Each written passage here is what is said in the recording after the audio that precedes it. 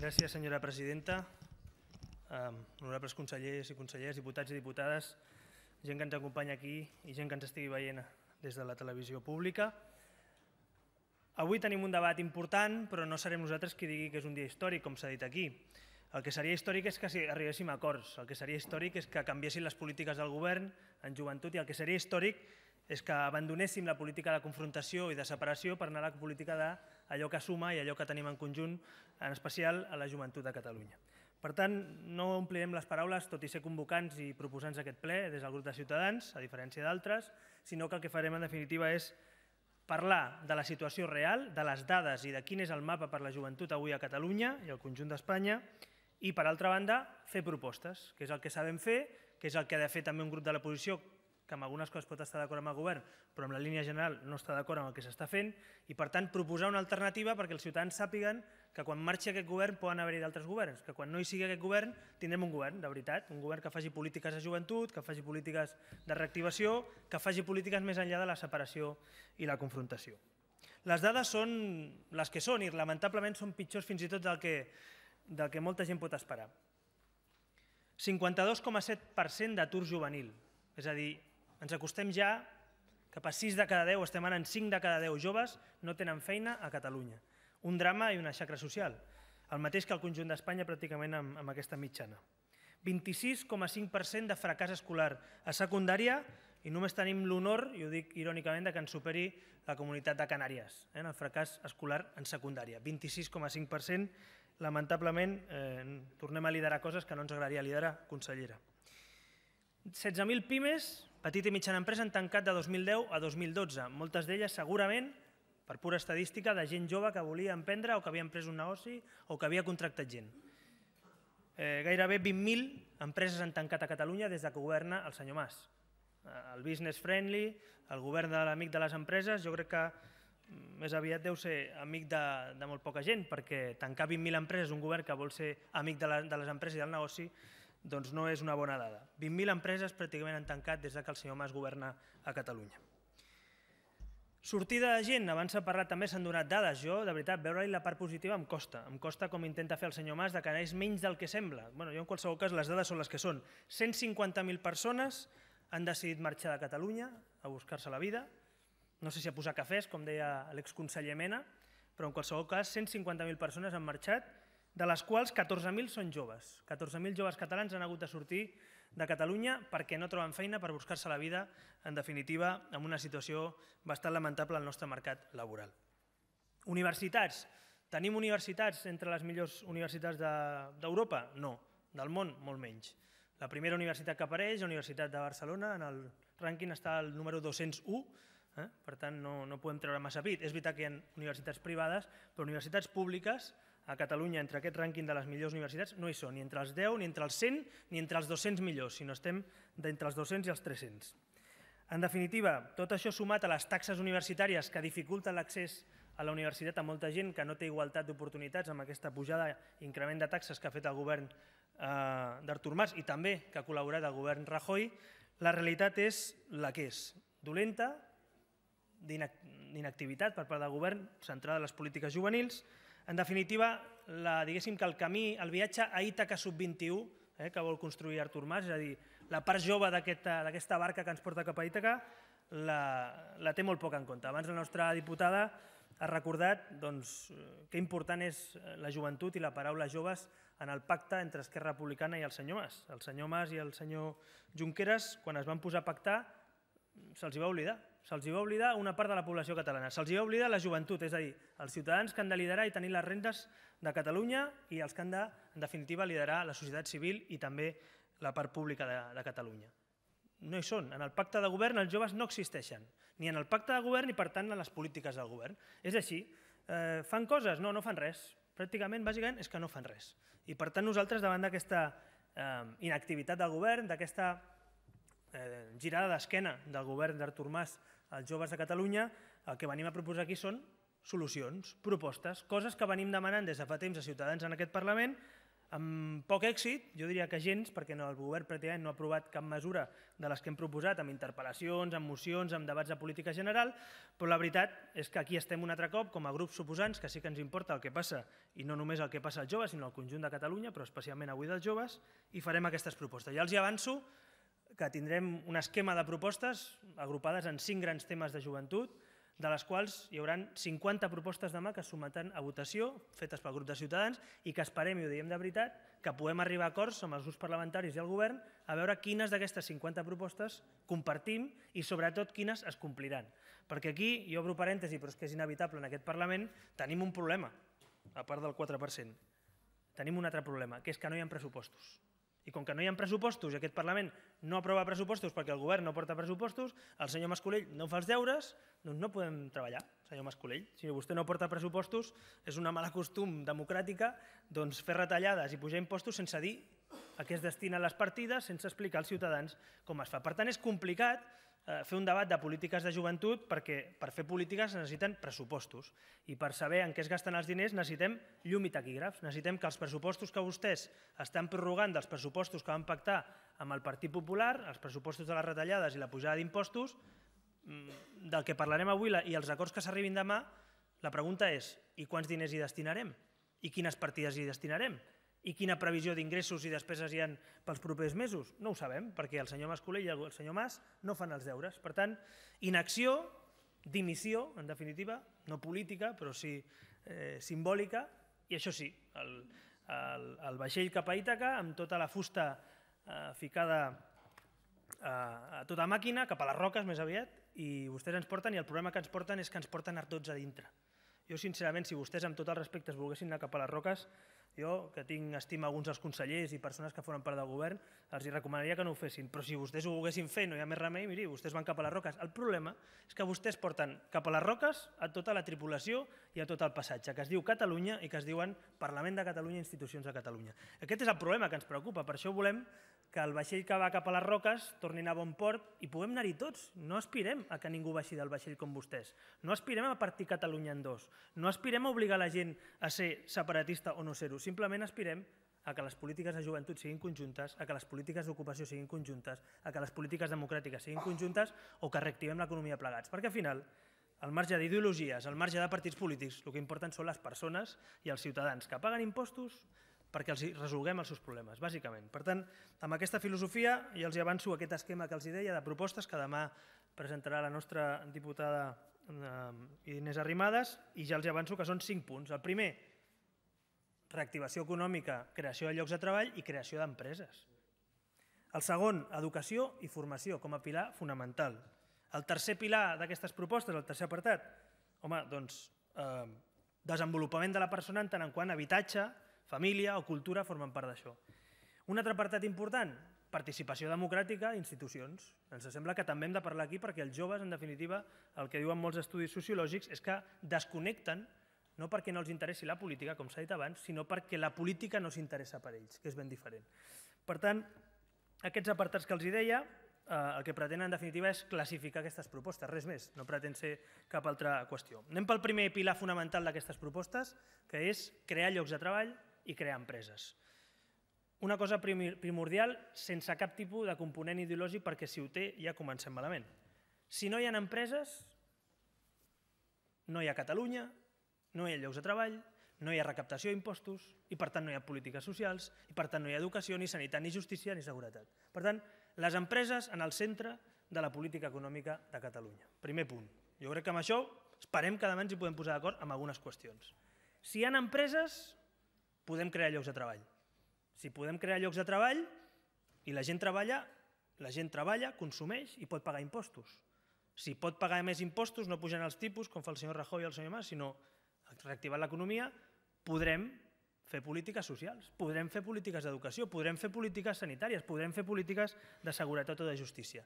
I si fem totes aquestes polítiques, es beneficiaran un altre cop les nostres empreses, que tindran una administració pública al servei de les empreses i els ciutadans i tindran, en definitiva, prosperitat, seguretat jurídica i seguretat eh, política. Aquest és el nostre cercle virtuós, el nostre cercle que proposem de centrar la política econòmica en la creació de llocs de treball a través de la creació i el manteniment, no només creació, de les empreses existents. La realitat, els deia abans, és tossuda. 20.000 empreses han tancat des que governa el senyor Mas, 16.000 pimes, eh, que és la xarxa bàsica, la petita i mitjana empresa a Catalunya i l'autònom, i aquesta és una realitat. Per tant, no s'està prioritzant ni per part del govern d'Espanya ni per part del govern de Catalunya la política de creació d'empreses. Què volem nosaltres en aquesta política? Home, el primer, que si és possible, la gent que vol crear llocs de treball ho tingui una mica més fàcil del que ho té avui. I m'explico amb quatre punts que volem tractar. Finançament. Per muntar una empresa, per molt que algú digui una altra cosa, si no tens calés no pots muntar l'empresa. Hi ha empreses que necessiten pocs diners, és veritat, però la majoria d'empreses necessiten un capital inicial, un, un capital de constitució, unes despeses. Doncs en aquest sentit, primer punt, finançament. Ha de ser l'ICF qui faci aquest finançament? Home, una part és veritat que ha de ser l'ICF, però no ens enganyem, tot no pot ser l'ICF, és veritat, amb això estem d'acord. Com ho volem fer? Home, si tenim 11.000 milions de rescat a Catalunya Caixa, que ho hem pagat tots, va estar aquí el senyor Narcís Serra, que ens va donar lliçons l'altre dia, a alguns dels diputats de la, de la comissió, home, aquests que s'han emportat i han fet un forat d'11.000 milions ens van dir, els que van donar el rescat, que eren per reactivar l'economia, no que era per maquillar els comptes, pagar eh, factures o per pagar indemnitzacions. Per tant, què proposem des de Ciutadans? Convenis de l'administració pública, ja sigui Catalunya, ja sigui l'Estat, amb les en aquest cas, les caixes rescatades amb diner públic, perquè no estan complint, perquè Europa ja ens ha dit que els diners de l'Eurogrup que ens van prestar no s'estan injectant a l'economia, perquè ens ho estan dient, que no es veuen els diners a l'economia real. Per tant, els joves que vulguin muntar una empresa, no perquè siguin joves, sinó perquè volen muntar una empresa, que puguin tenir accés si tenen un projecte viable. I faig incís a la paraula viable. No només ens hem de fixar en la garantia. Mirin, és molt fàcil demanar-li a una persona que demana 100.000 euros per muntar una empresa i preguntar-li, té vostè una nau industrial? Té vostè tres pisos? Té vostè una casa? M'ho pot deixar en garantia? Home, si tingués aquests diners i tot aquest patrimoni no vindria a demanar-li 100.000 euros. Per tant, el que vull són diners per muntar aquest projecte empresarial. Què planteja Ciutadans? Home, que en aquests convenis amb les caixes i l'ICF posin l'incís sobretot en el projecte empresarial.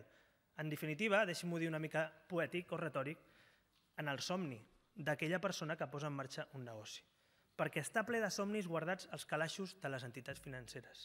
Ple de somnis estan els calaixos de moltes entitats. Perquè molta gent, la immensa majoria, no té ni una nau industrial, ni un edifici en patrimoni, ni pot posar a casa seva perquè ja la té hipotecada. Per tant, projectes empresarials, analistes des de l'ICF i des d'aquestes entitats per poder analitzar el factor risc del projecte empresarial i no només la garantia, com fan avui les entitats financeres, lamentablement. Cregui'm que conec com funciona i avui dia encara es mira més la garantia que el projecte empresarial. Jo crec que hem de canviar el xip i l'administració pública, allà on te participi, ha de canviar el xip, perquè mirin, la morositat és molt alta, és cert. Hi ha una morositat del 13, del 14, del 15%, és veritat. Però hi ha un 85% de gent que encara paga i que encara crea llocs de treball. Per tant, pensem en els que sí que paguen i no ens obsessionem només amb aquest 13% que no paga, perquè si no matarem a tothom, tots els negocis. Per tant, canvi de xip en la filosofia de finançament ICF, per una banda, està bé, però també convenis amb les entitats rescatades per part de la Generalitat i per part de l'Estat. Un altre punt fonamental, les, la seguretat social i la bonificació. Estem parlant de bonificació, estem parlant de que qui contracti una persona que està ara mateix, que no té lloc de treball, que no pot treballar, home, que no li posin dificultats. Avui dia, avui, tenim una situació en la que tenim empreses i empresaris que per contractar una persona que costa o que, que cobra finalment 1.000 euros han de pagar 1.400, 1.500, 1.600 euros de costos laborals bruts. Què proposem nosaltres? Que els primers dos anys, els primers dos anys de contractació d'un jove menor de 30 anys tingui una bonificació. Això, el Partit Popular en el seu programa, el PSOE en el seu programa, Convergència en el seu programa, si no m'equivoco, corregeixi'm conseller després, i Ciutadans, tots ho portem. Diem que s'ha de facilitar la contractació i abaratir només, no només obsessionar-se amb l'acomiadament, sinó amb la contractació. Realitat, no hi ha polítiques per abaratir la contractació, és a dir, la facilitat de l'accés de la contractació. Això ho proposem perquè creiem que és de sentit comú, perquè creiem que treure una persona que no té feina, donar-li feina, que ho pagui l'empresa i no la seguretat social, i que a més a més aquella persona surti del drama social, consumeixi, es reinserti en definitiva a la pròpia economia, també és bo. Per tant, propostes en positiu que surten econòmiques per les arques de l'Estat i que a més a més reactiven l'economia. Burocràcia, un altre punt fonamental per crear empreses. Home, a Catalunya som els campions del món de la burocràcia, els campions del món dels nivells administratius. Som la comunitat autònoma amb més nivells d'administració pública. Clar, estem parlant de burocràcia, no estem parlant de bombers, metges, jutges o policies, no, no, de burocràcia. Estem parlant de finestretes. Fem una finestreta única d'una vegada per totes, no la del Palau, no la finestreta del Palau, la finestreta única de totes les administracions públiques de Catalunya, que vol dir que per fer un tràmit administratiu a Catalunya no hagis d'anar a l'àrea metropolitana, al Consell Comarcal, si és que té competències, perquè en tenen poquetes, a la Diputació, a la Generalitat, evidentment a l'Ajuntament o l'Administració de l'Estat, o si ja ha de ser un tràmit, a més a més, amb la Unió Europea, de vegades encara es complica més. Per tant, què proposa Ciutadans? Finestreta única, perquè al ciutadà li importa ben poc qui gestiona com es diu aquella finestreta. El que li importa és que es gestioni ràpid i àgilment. I una proposta que hem fet alguna, en alguna ocasió, ho hem parlat, jo no sé si serà possible fer-ho o no, aquí tenim a la vicepresidenta també, però si, veiem si som capaços de, de que la posada en marxa d'una empresa no sigui un calvari. I ho dic així directament, no sigui un calvari. I li dic casos que tots tenim al voltant, persones, amics, familiars, coneguts o casos particulars que hem conegut. Persones que perden molts diners i molt de temps per posar en marxa una empresa, que són culpables d'entrada, que hi ha una mena de, eh, d'obsessió de, de, de que aquell que munta una empresa és sospitós d'alguna cosa. No, home, aquell senyor bàsicament el que vol és contractar gent, pagar impostos i crear un lloc de treball, llocs de treball. Per tant, facilitem això, que quan funcioni l'empresa vindrà a veure l'administració, no al revés. Per tant, agilització de l'administració pública, conseller, vicepresidenta, sé que vostès han fet algunes coses, però des del nostre punt de vista, visto lo visto, insuficients encara, i per tant els hi demanem i proposarem demà en algunes propostes una finestreta única d'empreses perquè qui vulgui muntar una empresa, si pot ser, entri per la porta i surti per la porta amb l'empresa muntada. Això és el que molts joves avui dia ens estan demanant i volem portar-ho en aquest debat del Parlament. Quart punt, que vostès amb això discreparem, però nosaltres sí que creiem que és important, estabilitat. Estabilitat política econòmica. Qui vol crear llocs de treball, empreses o gastar-se diners per constituir una empresa vol que demà, demà passat, l'any que ve i d'aquí quatre, si pot ser aquella inversió, la pugui amortitzar. I això vol dir estabilitat jurídica, que no en canviïn les lleis cada un quart d'hora, això vol dir estabilitat política, eh, que no fem viatges cap a Ítaques que em deixin dintre o fora de la Unió Europea, i això vol dir tranquil·litat, estabilitat i convivència. Això vol dir que qui munta un negoci bàsicament el que vol és, insisteixo, guanyar diners i crear llocs de treball. Eh, els sentiments, les banderes, eh, les separacions i els Ítaques, eh, pel debat polític potser està bé, però aquestes persones que munten empreses el que diuen avui, el que ens pregunten és què passarà demà. I la incertesa és el pitjor enemic de la inversió. La incertesa és el pitjor enemic de la creació de llocs de treball. I la seva política d'incertesa, i a més treuen pit, eh, de la incertesa ho van dient per tot el món, genera, en definitiva, problemàtica també per qui vol invertir a Catalunya. Per tant, quarta pota fonamental per crear empreses, estabilitat política i estabilitat jurídica. Això pel que fa a la creació de llocs de treball i d'empreses. En quant a ocupació particularment, no entraré en concret perquè ja estan aquestes propostes que desenvoluparem demà, ja ho hem parat aquí, conseller, la reforma del SOC, vostè diu que ho faran, porten dos anys i mig gairebé, no vostè com a conseller, si el seu govern o el, el seu partit, i no ho han fet. Vostès i nosaltres hem votat junts a l'oposició, quan estava el tripartit, la reforma del SOC, però ho vam votar el 2008, i crec que ho vam tornar a votar el 2009, però és que estem al 2013 i aquí no funciona. Per tant, alguna cosa està fallant perquè no reactivi o perquè no aquesta reforma del Servei d'Ocupació a Catalunya. Vostè porta poc temps a la conselleria, conseller, però el seu govern i el seu partit, el mateix que votava l'oposició, jo crec que haurien d'haver posat en marxa ja fa temps. Um, formació professional, també s'ha parlat avui. Jo crec que la formació professional és una via també que tenim, que s'ha tractat com el germà petit eh, de la formació. Jo crec que un error. Jo crec que ja estem en una democràcia madura en la que ningú ha de demostrar res si és universitari o si fa formació professional. I per tant, tan digna és una cosa com l'altra, és obvi, però cal dir-ho, i per tant jo crec que també potenciar la formació professional és fonamental per tenir bons professionals, mà d'obra qualificada, que no sempre vol dir mà d'obra universitària. I per tant, en aquest sentit, si el govern està d'acord amb aquesta línia, doncs parlarem, perquè ens sembla fonamental que la formació professional es potenciï com una via. Primer, abans s'ha parlat el conseller, jo crec que una mica pot anar per aquí també, deia abans la sobrequalificació. No? home, que estigui la gent massa preparada, en principi, jo no, jo no veig malament que la gent, la gent estigui molt preparada. És veritat que si tu poses una persona molt preparada a treballar d'una cosa que està totalment infravalorada o que no està a l'alçada de la seva formació, també és veritat que és frustrant. Per tant, hem de buscar i adequar l'oferta del mercat de treball amb la universitat i amb la formació professional. Un altre punt, i parlarem també en aquest cas, eh, després amb educació, és la, la universitat i el mapa educatiu. En definitiva, en la part de creació de llocs de treball a empreses, posar l'empresa en el centre, l'emprenedor sobretot, que és qui se la juga, i els treballadors i les persones que treballes amb una bona formació i amb un bon mètode perquè aquelles persones contínuament es puguin anar formant quan formen part d'una empresa. Els nostres treballadors i una mà d'obra qualificada és el valor afegit del nostre producte. Que ningú s'equivoqui. No podrem competir, ni volem competir, amb, amb sous en països que són dictadures, per exemple. Podem competir amb mà d'obra amb Xina, a Espanya? Podem competir? Volem competir? Jo no. Jo no vull competir amb mà d'obra amb Xina, entre altres coses perquè no tenen drets laborals, perquè no tenen democràcia, perquè no compleixen eh, el mínim establert per molts drets fonamentals i per la Carta de Drets Humans. Jo vull competir en països que tinguin valor afegit i això passa per la formació dels nostres empleats i treballadors i passa per l'I+D+I, que és veritat que és bona part competència de l'Estat, però que també és important no retallar-ho com està fent el govern del Partit Popular, que li deu semblar que és una cosa secundària. Invertir en desenvolupament, en patents, en creació de riquesa, deu ser una cosa secundària perquè ben bé han retallat bona part de la partida pressupostària. Un altre camp fonamental i entrant ja a l'educació de, ple. Home, nosaltres partim d'una base de principis fonamental com a, com a demòcrates.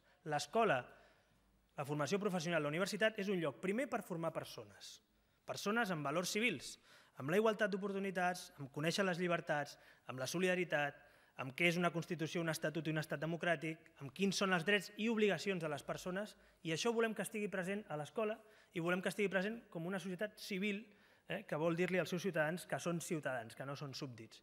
I per tant, en aquest sentit, ens sembla que l'escola és el millor lloc per ensenyar aquests valors civils. Segon, formar ciutadans, els he dit, en democràcia, ciutadans que en definitiva siguin lliures i puguin seguir sent lliures i puguin optar eh, per sentir-se ser, participar o no en política o ser d'una ideologia o una altra. I estic parlant de treure la política de les escoles. Estic parlant d'un pacte per treure la política la identitat de les escoles. I això passa, en definitiva, per no fer de les escoles llocs ni de formació de l'esperit nacional, ni d'adoctrinament, ni de penjar banderes d'un partit o un altre. I això és fonamental. Jo crec que els que són pares i els que no ho són també ens importa molt que els nostres fills es formin i es formin amb llibertat.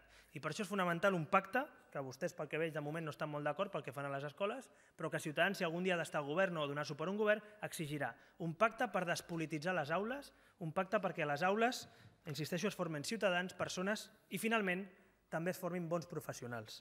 Fonamental. Sí, s'ha de lligar la formació també amb el mercat laboral, clar que sí, perquè si no estem frustrant a la gent, perquè crear i dir-li a la gent que estudi, que es passi 20 anys estudiant de l'educació pública, com no pot ser d'una altra manera, i pagant-ho entre tots, com em sembla bé, no pot ser d'una altra manera, no pot acabar frustrant a molta gent. No podem acabar amb gent que acabi tota una formació i no trobi feina en el seu país. I per tant, a Espanya i a Catalunya en particular hem de lligar la formació i la universitat també amb, la, amb el mercat laboral. Nosaltres proposem en aquest camp una reforma del, del sistema d'universitats, una reforma que vagi més enfocat a no tenir moltes facultats, sinó a tenir millors facultats, que no és el mateix. I això vol dir que tinguem més qualitat, això vol dir que en el mapa universitari català, que és un mapa molt duplicat en molts casos, ens especialitzem, fem unes universitats lligades també a aquest mercat laboral i sobretot formar a persones que tinguin ample de via.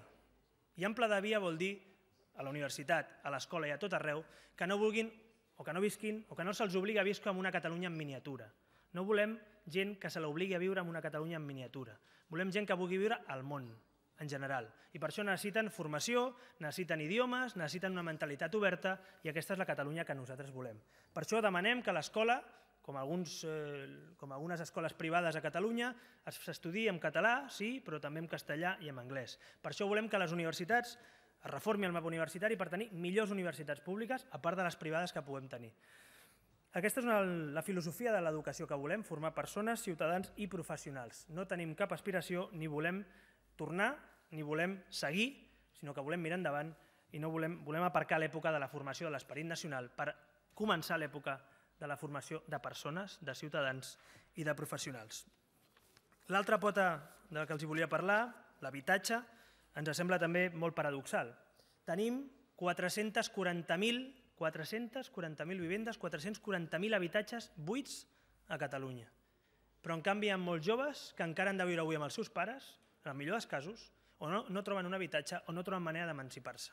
I la pregunta és, si tenim 440.000 habitatges buits, dels quals una part són entitats que han estat rescatades amb diners públics, entitats financeres, no podem fer un conveni de col·laboració per treure aquestes, aquests habitatges amb lloguer social perquè aquests joves puguin tenir i desenvolupar la seva vida, en definitiva, a casa seva, a la seva llar, desenvolupar les seves també famílies al marge dels seus pares. No podem fer-ho de veritat? Nosaltres creiem que sí. Que és tan senzill com pensar. I és tan senzill com seure a parlar entitats rescatades en diner públic, insisteixo. Quants habitatges buits tenen les entitats rescatades? Milers i milers i milers. Cal anar al punt de l'expropiació? Home, se'ns acudeix que per matar de vegades mosques la millor manera no és amb canonades, sinó que el que necessitem és pensar. I el que hem de pensar és com fer que l'oferta casi amb la demanda. I si hi ha entitats financeres que tenen pisos buits, que s'estan tapiant, s'estan tapiant habitatges a Catalunya, tapiant, tancant, perquè no visqui ningú, com pot ser que hi hagi gent que vulgui viure i emancipar-se i no tingui casa, i no tingui llar? La Constitució diu que tenim dret a l'accés a un habitatge. Escolti'm, si la Constitució espanyola al final el que haurem de fer és, més que canviar-la, aplicar-la. Que s'apliqui accés a un habitatge. No vol dir propietat, eh? vol dir l'accés. No podem fer un parc d'habitatge amb un conveni? Sí. Això és el que proposarà Ciutadans demà, que arribem a acords amb aquestes entitats perquè aflorin aquests habitatges, un lloguer social pel manteniment d'aquests habitatges, que per cert no estaran buits ni tapiats, sinó estaran en persones, que per això són els habitatges, en teoria, i per tant nosaltres proposem casar l'oferta amb la demanda. És possible i tenim habitatges construïts, no cal construir més. Jo sentia gent que deia, no, construir un parc d'habitatges, no, no, no construïm més, que ja sobren totxos per tot arreu. Aprofitem els totxos que estan construïts i canalitzem-ho cap a la voluntat de molts joves. Per tant, un conveni amb les caixes, un lloguer social i que el rescat bancari sigui per rescatar també persones.